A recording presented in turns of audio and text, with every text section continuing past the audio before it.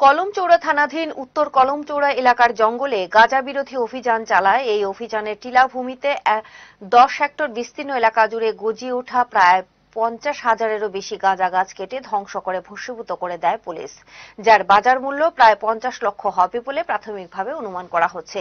রবিবার পুলিশ ও বিএসএফ এর কাছে গোপন সূত্র মারফত একটি খবর আসে। কলমচৌড়া থানাধীন উত্তর কলমচৌড়া গভীর জঙ্গলের বন দপ্তরের টিলাভূমিতে বিস্তীর্ণ এলাকা জুড়ে কয়েকটি জায়গায় গাঁজার অবাধ বিচরণ হচ্ছে।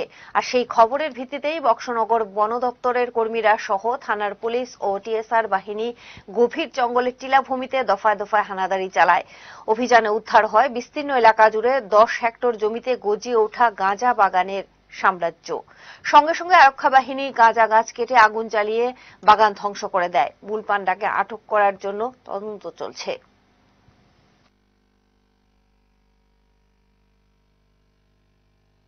আজকে আমরা গোপন খবরের ভিত্তিতে দক্ষিণ চোরা এবং কলমচোরা উত্তর কলমচোরা এলাকাতে প্রায় পনেরোটা প্লট বিএসএফ একশো পঞ্চাশ ব্যাটালিয়ন এবং বক্সনগর ফরেস্ট স্টাফ এবং টিএসআর পুলিশ স্টাফ মিলিয়ে সেরা প্রায় পঞ্চাশ হাজার গাছ আমরা খাচ্ছি।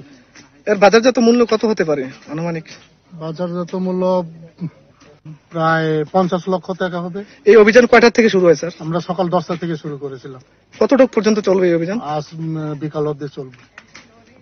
এই অভিযান কি আগামী দিনে জারি থাকবে? হ্যাঁ সবসময় জারি থাকবে।